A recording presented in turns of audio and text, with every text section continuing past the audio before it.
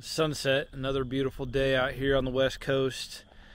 Um, we're set up to do some evening, late night work, both for the both for the client, um, both for Big Dog Motorcycles, working on this clothing line, and also trying to finish up a YouTube video tonight.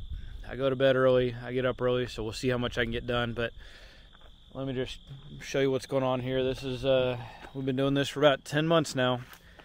I didn't have Wi-Fi for the first two or three months, which uh, made things a little rough. So this is this is the real deal. I've got stuff out. You know, it's easy to clean and get cluttered.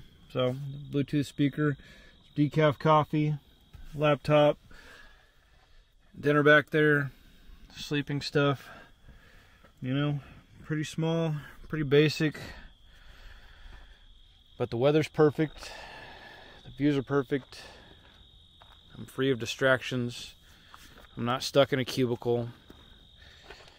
You know, when I was when I was working at the factory at Big Dog Motorcycles, it really reminded me where I sat was like uh, it was like in school suspension in a corner in a room with no light, no decorations. And I can tell you, I'm dramatically more productive and creative in environments like this that allow me to access the parts of my brain and my creativity that I need and do it throughout the day so that my brain gets a break, my creativity gets a break. I'm not just, you know, sometimes when I needed to make some money for these guys, I would just go back and sandblast, and you can just do that for eight hours. That's just production. But when I'm problem solving and working with tech support and using a bunch of different elements of creativity, you know, there's maybe I've got two, three, four hours, usually three, three and a half hours of really good focus time. And then I've got to get away from it for a while. And then I get another two or three hours out. And then I get away from it. And then I get another two or three hours out. It just doesn't work in the traditional office setting. But I get more done. And, and like I've said in a lot of my channels, I'm either working or working out. I'm working for Big Dog Motorcycles. I'm working on my YouTube channel. I'm working the evening job, evening job, the weekend job down on the beach. I'm working out.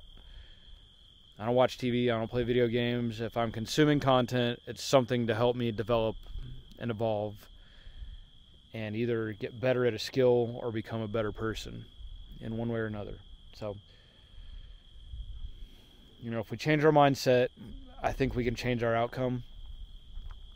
And I hope you guys follow along with me on this journey uh, because there's a lot of cool stuff to come, you know. I've really truly found that that belief in myself that I had like when I was a child or even in college when I was I was like, "Hey, let me go get the biggest craziest motorcycle I can and then I'm going to go be a stunt rider and then I'm going to go ride with the world champion and I'm going to hang out with MTV producers and I'm going to get in DVDs and how did I do that? Cuz I didn't let anybody tell me I couldn't. And then you start getting into the real world. Everybody says, "Hey, okay, you got to trade your hours for dollars. You got you've got to follow this path. And guess what? It's 2024. The path that used to work doesn't work anymore. So what am I going to do? Work longer and harder just to get less and less and still end up with no retirement and die in poverty? No, I'm going to figure out how to use my skills, my skills and my assets, and I'm going to do what it takes to build something amazing and have a positive impact on this world. And a big part of that will be helping men, maybe helping all people, but definitely helping men get sober and fit, especially men going through divorce, breakup, and loss. And this is just a small part of the story that I will be so proud to look back on someday.